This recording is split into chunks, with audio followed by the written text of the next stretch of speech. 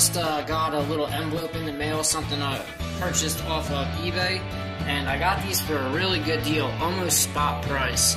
Um, it was $23 for the two plus 678 but it was really only 378 for shipping and handling. So it came out to right around $27 divide that by the two Peace dollars which are actually in pretty good condition. It came out 1350 with shipping and handling for one and today's silver spot price is at 1722 so if I were just to scrap one of these for just the silver, it would be 1332.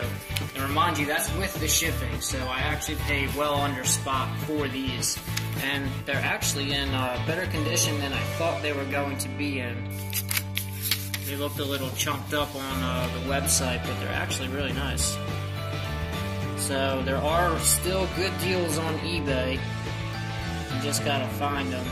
And today is the 19th of May 2018.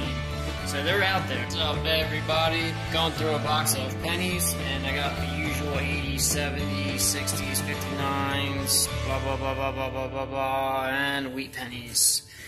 So far, I got a 1951 Denver, a 55 Denver, 56 Denver, 44 Philly, 57 Denver, and I just got this one. 53 Denver. So there's actually a decent amount of coppers.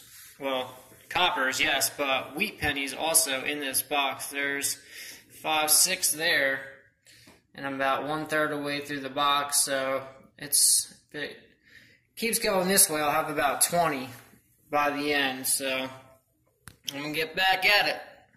My piles are getting a little bit bigger. I want to say I'm about halfway done the box. And I got a couple more Wheaties. I believe I stopped at 44 Philly, so we go with the 57 Philly, 53 Denver, 56 Denver, 42 Philly, and a 53 Philly, which is pretty slicked out. But uh, there's a lot of early uh, coppers in here. That's um, a lot of the 60s and 59s for only being halfway down the box. So there might be some um, some good old coins in here. Maybe another Indian head. We'll see. Alright everybody, a quick little check-in. I think I said about 18 to 20 wheats by the end of the box if we were carrying on the same pace as the first about 10 rolls. So we got some rolls left, and as you can see, the 1980s pile is about average, but the 1970s pile is well above average and a little bit higher than normal. Um, there is a lot of lot of coppers in here. Same with the 60s and 59s. That's definitely above average. Everything else is about the same. And wheats are also a little bit above average. But I think I left off right around 1958 Denver. We got five more, so 52 Denver, 37, which is my lowest one so far, 55 Denver, 45 Philly, and another 45 Philly. So we are doing pretty good. Alright, everybody, I am almost done. I got two, four, six, seven and a half rolls left. I did get some more wheat, but check this out. It's a little slicked. Well, it's pretty decently slicked. Well, it's not that bad. Ready? Boom! 1912. That's the earliest wheat penny I've ever got. I've gotten Indians, but 1912 is my earliest wheat. And since you're here, I'll just show you. We got 1944 Philly and a 1946 Denver. But also getting some really nice coins, still tons and tons of coppers. Alright guys, here is the wrap up. You can see my 1980s, it's uh, about average. My 1970 pile is above average. There's probably double than what their normal is. Same with the 1960s and 59s. I'll be going through them with the Jewelers Loupe. For the AUBU coins, um, they were kind. Some of them were borderline, but I picked them out anyway. A lot of the 1970s in this box were very close, but I just threw them in the 1970s pile. As you can see there, some pretty nice ones.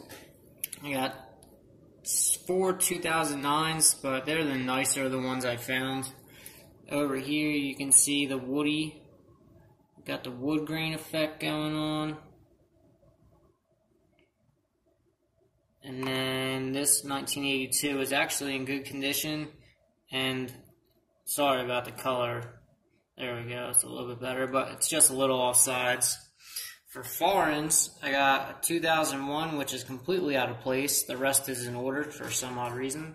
71, 73, 77, 87, 1990, 92, 93, 94, and 2001. And they're kind of mixed foreigns.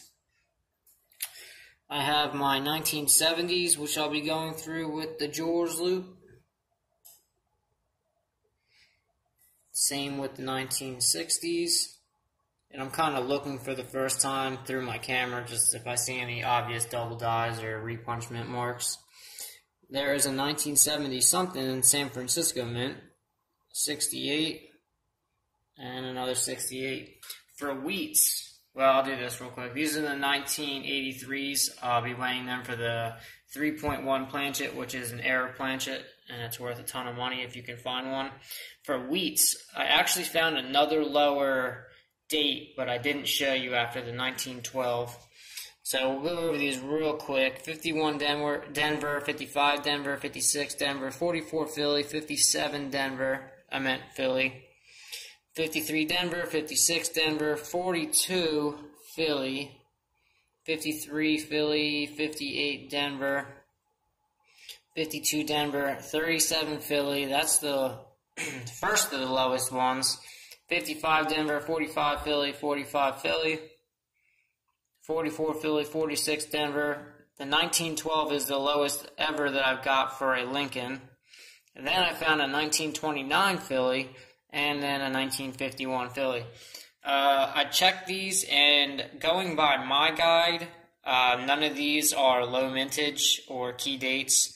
Um, I have 15 million or less listed. So if there's anything above 15 million, then I don't consider it low uh, mintage, except for one.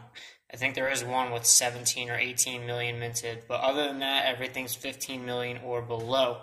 So exactly 20 wheat pennies, tons of coppers. It was a good, good box. I'm going to go over this now with the jeweler's loupe and hopefully I find some errors and varieties. Alright, so I went through everything with the jeweler's loupe and I did find this 1968S and I looked it up. It's actually a double die. It's WDDO 00-001. Let me see if I can't get you guys in there. I took pictures of it that I'll show after this. But on the R, the T, the Y, they're all doubled. That's a little bit better. So you can see it there. And then also under his chin, right there. And then the blobs in the S match doubledivariety.com. So a nice double die that I found. Um, I will have pictures of that. You can see them a little bit easier.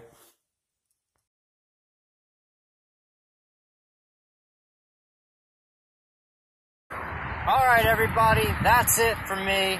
Um, it was a great box of pennies. I was very happy with it. I'm going to look more into that 68S double die and see if I can't find anything or any other ones that have been sold or are being sold and get a price range or on it see if I should send it in or not. Probably not, but I'll definitely keep it. Um, I want to thank everybody for watching. Please like, share, subscribe, and I will see you guys on the next video. Take care.